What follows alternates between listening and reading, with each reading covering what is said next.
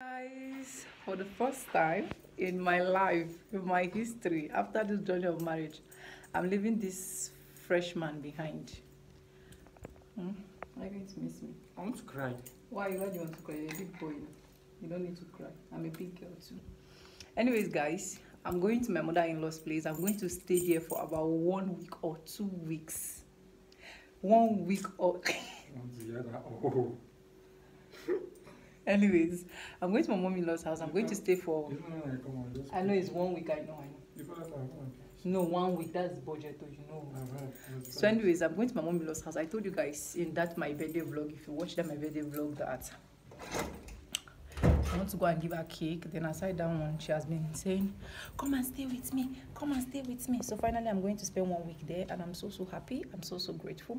First, hello, beautiful people. Welcome back again to my YouTube channel. It's Vibes, and I'm back again with another Vibes on your table. Whatever. Anyways, I'm going to miss you, Sha. Just take care of yourself, okay? Kiss me now in my cheek. I will not kiss in my mouth in my vlog or in my video. Anyone.